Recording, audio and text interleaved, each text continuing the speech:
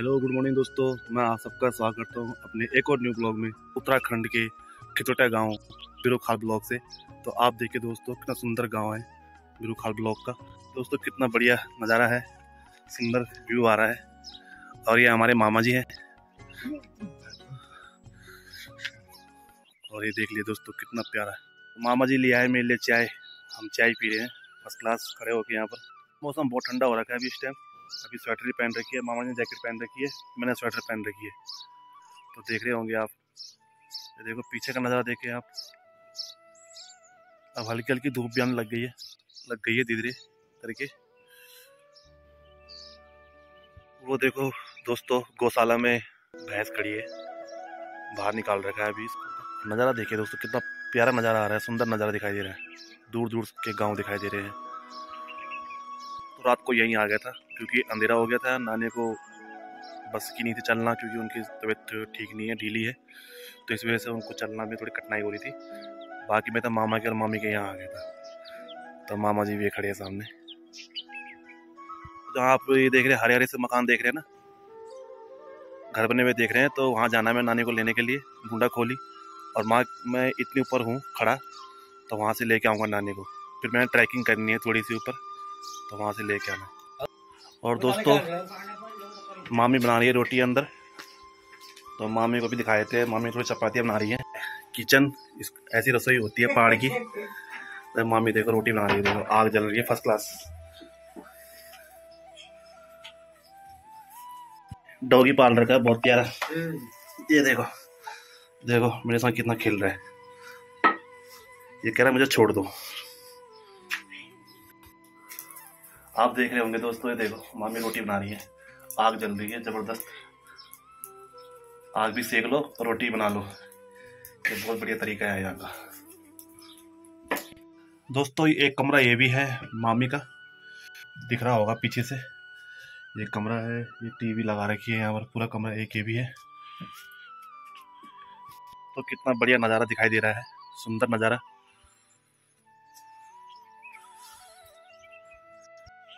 मामा मामी का। ये भी रूम है, बढ़िया। ऐसा रूम है। पहाड़ में दोस्तों ऐसे रूम होते हैं, बने हुए, मिट्टी के। और ये सामने देख रहे हैं आप, ये बकार है, जिसको हम बगस बोलते हैं। तो ऐसे ही है, ये बेड है। दोस्तों, हम अब जा रहे हैं नानी को लेने के लिए। बैग भी हमारे वहाँ, और नानी जी है वहाँ पर। आपको दिखा रहा हूँ दोस्तों, वो है सामने गाँव। डूडा खोली।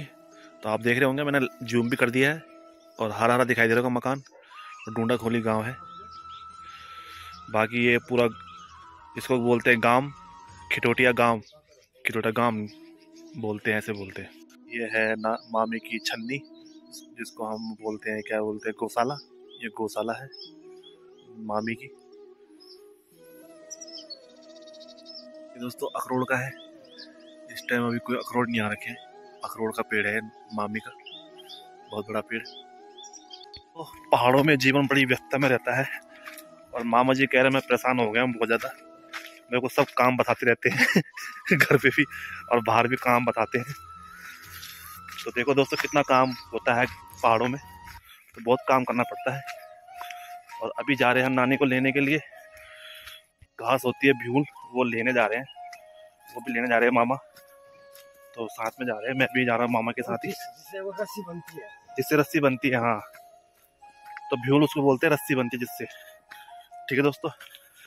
दोस्तों मामा जी कह रहे हैं कि जो भ्यूल होता है ना उसे रस्सी बनती है मज़बूत वाली बढ़िया वाली रस्सी। ठीक है दोस्तों? बहुत ही काम में आने वाली चीज़ें हैं ये। छोटी छोटी चीज़ें जो होती हैं बहुत काम की आती है पहाड़ों में। और मामा जी कह रहे हैं हाथ से ही बुनते हैं उसको। बहुत मज़बूत है हाँ मज़बूत बोलो। मज़बूत लगे। टूटना नाम नहीं चाहिए। पैर क्या कर दी ताव कर ले तालाब में? अच्छा। हाँ हाँ हाँ। अच्छा। हाँ। हाँ हाँ तो तो आप समझ रहे होंगे समझ रहे होंगे दोस्तों आपकी मामा जी बता रहे हैं भीड़ की भीड़ के बारे में बता रहे हैं मामा जी पूरा। में से निकालते हैं हाँ सुनते हैं हाँ तो समझ गए होंगे दोस्तों आप कितनी कीमती चीज़ें हैं वो।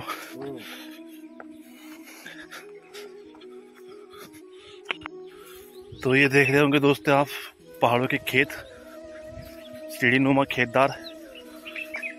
और इस टाइप के खेत होते हैं पहाड़ों में। फूल देखिए दोस्तों, कितना सुंदर लग रहे हैं फूल दिखने में। चैत का महीना चैत का महीना बहुत ही खूबसूरत नज़ारा पहाड़ों का। और हल्की हल्की धूप भी खिल गई है। तो दोस्तों, यहाँ पहाड़ों का मौसम का कोई भरोसा नहीं है। एकदम में धूप भी आ जाती है और एकदम में बहुत ज़्यादा बारिश भी हो जाती है। तो ऐसा ऐसा हिसाब किताब है पहाड़ों का। वहाँ से आए, उतने ऊपर से आए हम अभी। अभी इस टाइम नीचे आ गए हैं। कितने नीचे आ गए, देखो। वहाँ से।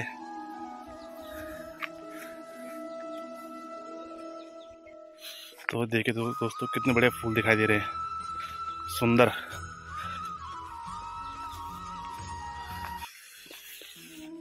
दोस्तों, ये देखिए कितना बढ़िया ठुमिक लगा रखा है, जिसको पलकुंडा बोलते हैं हमारे यहाँ, पहाड़ों में।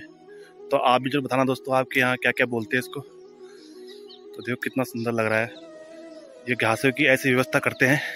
ये है दोस्तों तिमले का पेड़।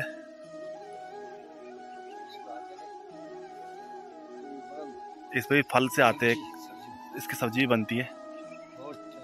बहुत टेस्टी सब्ज़ी बनती है। मामा जी बता रहे हैं हमें। पहाड़ों के साथ जो भी हैं, लोग जुड़े हुए हैं ना, वो सब उनको ज्ञान होता है कि क्या क्या चीज़ें हैं ये। मतलब पता नहीं है इतना नॉलेज नहीं है हमें। पहाड़ में लोगों को सब पता रहता है। और मामा जी को सब पता है सब जानते हैं मामा जी। किसको क्या बोला जाता है किसको क्या होता है जिस किससे क्या क्या होता है। नानी के घर ये नानी दूसरी नानी है हमारी यहीं की कितोटे गाँव की मेरे ननिहाल की। तो ये नानी जी का घर है। नानी मेरी तबीयत ठीक है नानी जी तुम्हारी? अरे तो ठीक है। ठीक नहीं हो? क्या बात हो गई?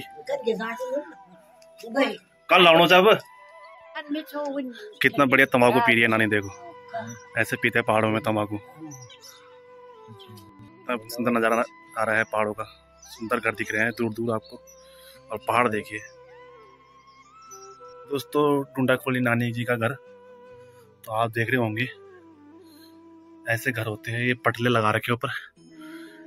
और ये मिट्टी वाले घर होते हैं, अक्सर ज़्यादातर पहाड़ में।